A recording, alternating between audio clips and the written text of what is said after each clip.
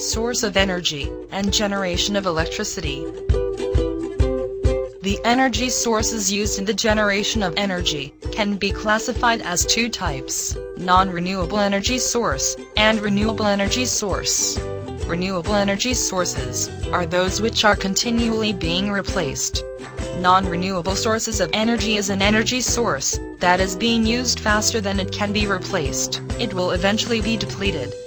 Hydroelectric energy, geothermal energy, biomass energy, solar energy, wind energy, and wave energy are the examples of non-renewable sources. Non-renewable sources include coal, petroleum, natural gas, and nuclear energy. Electricity generation involves the transfer of energy from one form to another. There are several ways of generating the electricity. These include hydroelectric, biomass, solar, wind, geothermal and tidal energy. In a hydroelectric power station, a huge dam is built across rivers to contain water.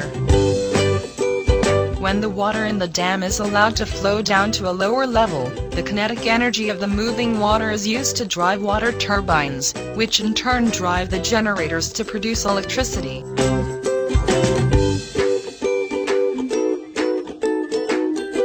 Coal-fired power station, energy obtained by burning coal is used to turn water into steam, at high temperature and pressure.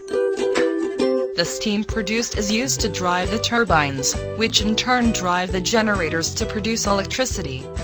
A significant amount of energy is lost when the steam is condensed back into water to pumped back to the boiler. In a gas-fired power station, gas is burned in a combustion chamber. The hot exhaust gases drive the turbines directly, which in turn drive the generators to produce electricity. In nuclear power station, the heat released from the splitting of uranium-235 atoms are used to generate steam at high temperature and pressure. The steam produced is used to drive the turbines, which in turn drive the generators to produce electricity. Geothermal energy uses heat energy from beneath the surface of the Earth. The heat from the geothermal source is transferred to a loop of fresh water. This hot water is used to power a steam turbine that is connected to a generator. Geothermal energy is not widely available, and geothermal power stations can only be found in a small number of countries.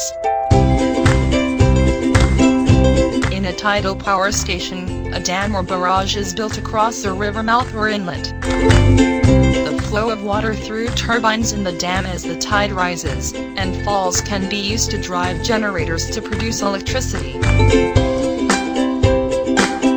High-speed wind can be used to turn the blades of large windmills, which will in turn drive generators to produce electricity. Wind-generated electricity does not cause air pollution, but it does cost more to produce compared to electricity generated from coal. Thank you for taking time to watch this.